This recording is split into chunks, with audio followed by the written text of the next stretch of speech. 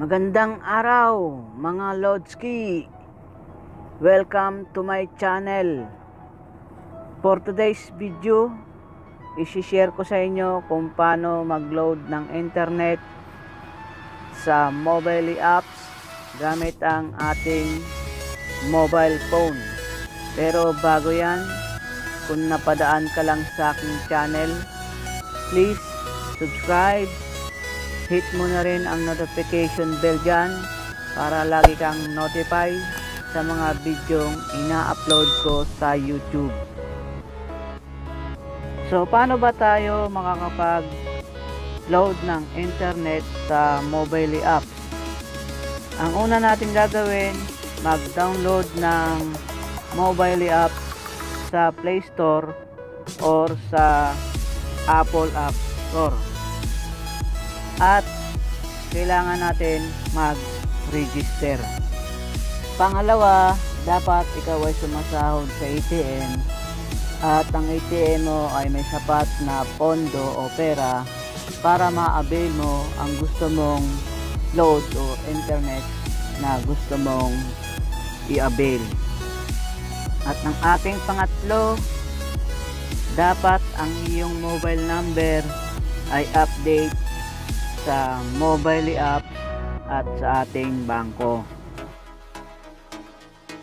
At ang pang-apat natin ay kailangan mayroon kang malakas na internet connection. Yon mga Lodski, kung kompleto ka na, meron ka na ng apat na yan, pumunta na tayo sa ating screen recorder.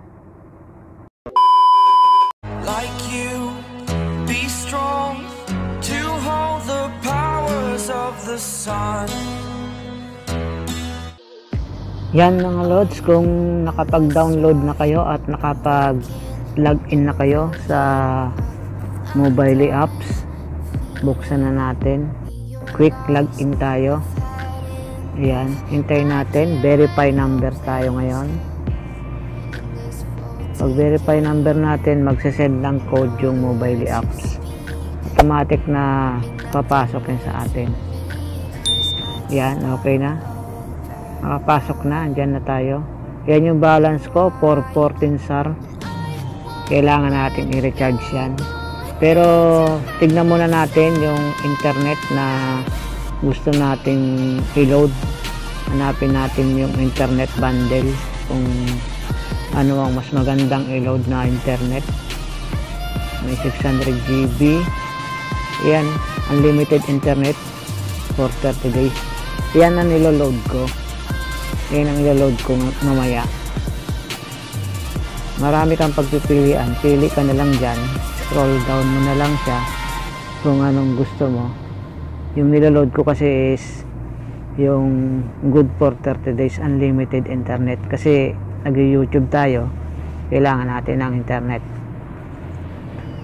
yan pili ka lang dyan marami dyan pagpipilian 300 GB 600 GB kung anong gusto mo.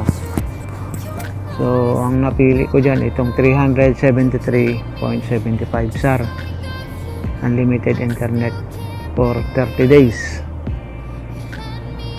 Back tayo mga lods. Mag recharge tayo. Ayan. Ah ano yung nating amount kung magkano ang ilalagay natin? Lalagay ko eh 380 para sobra tapos next yan pay now natin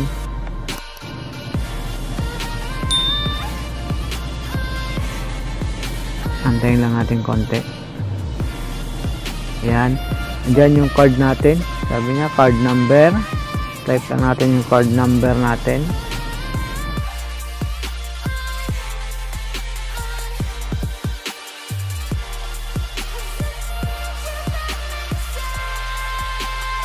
Tapos, pangalan ng may ari. Yan. Tapos, expiration date tapos yung CBB, yung 3 digit number na nasa likod ng ATM natin. Sabay, confirm payment na tayo. Yan. Hintayin lang natin yung code. Magbibigay ng code dyan. Yung bangko. Yan. Fill up lang natin yung code na ibibigay ng bangko dyan. Hintayin lang natin konti. Yan. Nagpadala na ng code yung bangko. Type natin yung code. Sabay, submit natin. Yan, processing na. Yun, okay na. Thank you. Na-recharge na ang mobile natin. May load na siya. Pumasok na. Yan, 384.14 SAR. Tapos, pupunta na tayo dun sa ano, bundle. Magsusubscribe na tayo ngayon.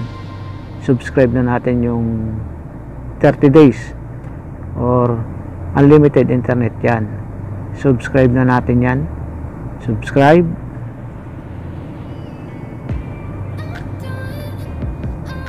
Boom, yun, success na mga Lodski.